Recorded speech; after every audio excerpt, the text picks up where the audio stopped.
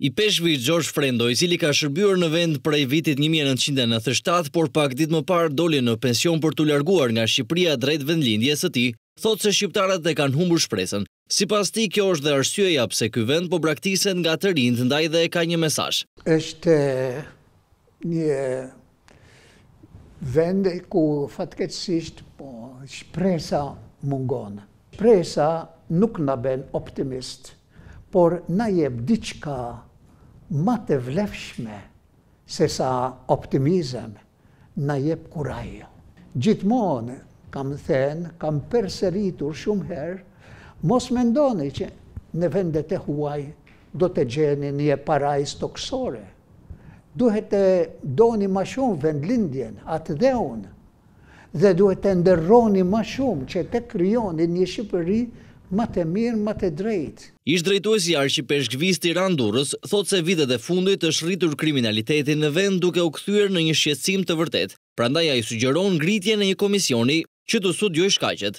Në këto vite kemi shikuar, kemi parë një rritje në kriminalitet, janë rritur vrasjet, vetëvrasjet, vjedhjet. Të krijohet një komision ku edhe ne, udhëheqësit e besimeve, mund të kontribuojmë shumë për të studiuar të cilat janë shkaqet e si mund të krijojmë një shoqëri ma etike, ma morale. Prifti, i cili ka një lidhje të veçantë me popullin shqiptar dhe mban dhe pashaportë shqiptare, thotë se politika ka një rol negativ, prandaj ka një thirrje të hapur. Partitë politike duhet të kenë parasysh se së pari duhet të kërkojnë të mirën e përbashkët, të mirën e popullit, të mirën e vendit, para se të mirës së partisë. Dhe edhe mënyrë si politikanet të japin një shembull pjekurie për popullin, sepse populli sheh si flitet në kuvend, si sillen politikanet në kuvend.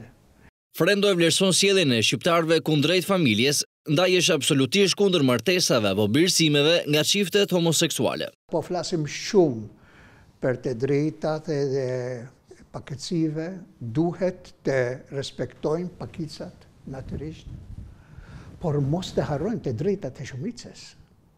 Dhe mos të flasim vetëm për të drejtat e të rriturve, duke harruar të drejtat e fëmijëve. Një fëmijë a ka të drejta apo jo? Të lindë e të rritet brenda një familjeje heteroseksuale, të ketë babë e nënë, a ka të drejtë apo jo? Si edhe a ka të drejtë që të jetojë në një familje ma të qëndrueshme?